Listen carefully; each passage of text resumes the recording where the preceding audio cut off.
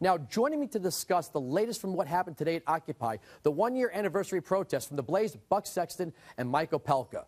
Um, was there as much passion this year as there was last year? Because, I mean, to quote the president, they were fired up and ready to go. Uh, I think they were fired down and ready to go back to bed. There were um, more officers of law enforcement on site than there were occupiers. Uh, Buck and I were on opposite ends of the protest, trying to work it from the ends to the middle. And uh, it was the most um, impassioned round of indifference I think I've seen in a long time. All the jokes about the aroma um, aside, were you fascinated by how illogical some of their demands were? and how if they really just sort of wrapped their heads around what it was they were asking for, they would find their biggest complaint should be with government, not private industry? It was a parade of, of nonsense and stupidity. One of the signs that I saw today I'd never seen before was Tax Wall Street, End AIDS.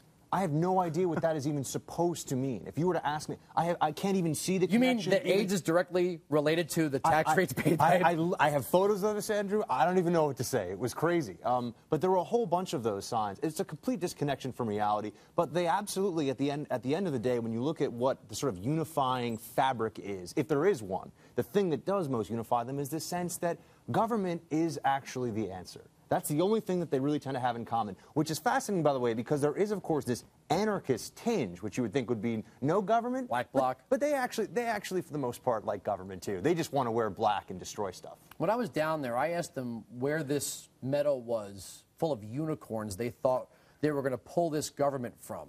That we saw the corruption almost instantaneously. They started raising all this money, and next thing you know, that the, the elites of the Occupy movement, well, they, the fact that they even created an elite was, was pretty amazing, began to act like people, given other people's resources, spend them the way socialist aristocrats in other countries spend them, and they didn't even feel a sense of guilt about it. One of them was quoted by the New York Post as saying, Well, I needed to get sleep.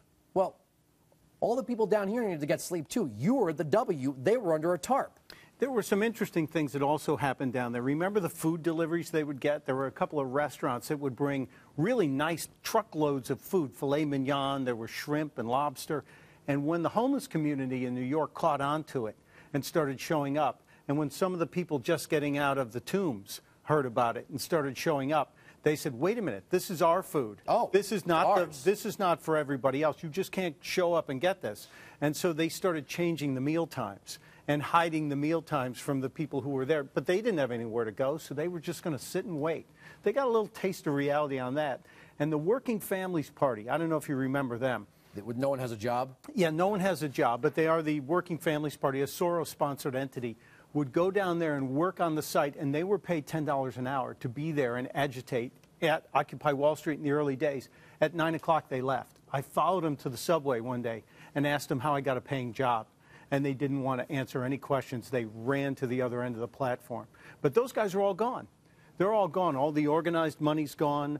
There are just a few crazies left right now. I remember watching uh, YouTube videos of people you know, trying to conduct interviews with some of these individuals with their iPads and their iPhones, which I thought is ironic. iPad, iPhone. Shouldn't it be the Wii phone or the U phone or the our? didn't the, make those, yeah, Andrew. The, the, the, the our pad.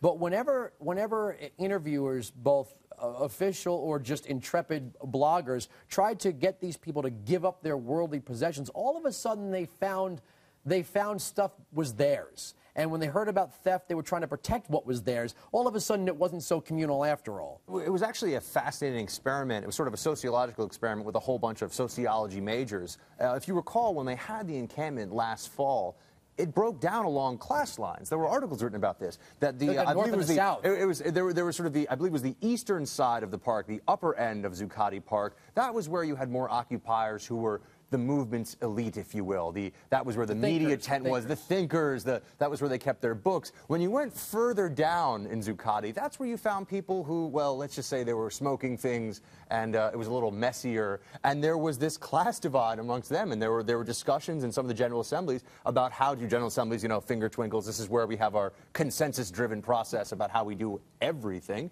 Uh, there were discussions about maybe we should kind of get rid of these guys because they're not really a part of our communal and open movement. It was kind of weird they had to have a rape-free zone. I thought all of the United States was a rape free zone. And if there was a rape, we would prosecute that, not say, don't report that. It makes us look bad. And they were segregating by sex. They had that one giant Quonset tent, that hut they set up that was just for women because of the rape problem, that the rape free zone wasn't working. The entire ownership and usage of Zuccotti is suspect as well because there were some strange ties back to Bloomberg and, and some folks with some curious financial connections to all this too that turned a blind eye in the early days until they got called out on it. So I, I think the movement started under dubious uh, notions that came from a, a, bunch of different disparate causes and then never really gelled. They never had a single focus. And if you walked around today among the few that were there, they still don't. There's did, still did no central focus. Because I read that they were going to do something different than some of the clownish stuff with the with the drum circles and the and the hula hoops and the they were going to dress up in suits and ties and carry briefcases and they were going to try to play pranks from within, not just occupy the property from the outside. Did any of that get off the ground? You know, Mike and I have been to a lot of these things. Uh, you know, we try to cover together when we can. And I have to say, one thing I will give them credit for is an unbelievable endurance for boredom. I mean, they can stand around for hours and hours, twinkle fingers, and try to say, you know, maybe we'll do something in a couple of hours. As to the specifics of your question, did they do any of this stuff? I think there were a few of these occupiers who dressed up in what they thought was business attire. By the way, the cops, they could pick out the occupiers in business, in business attire a mile away. They weren't fooling anybody.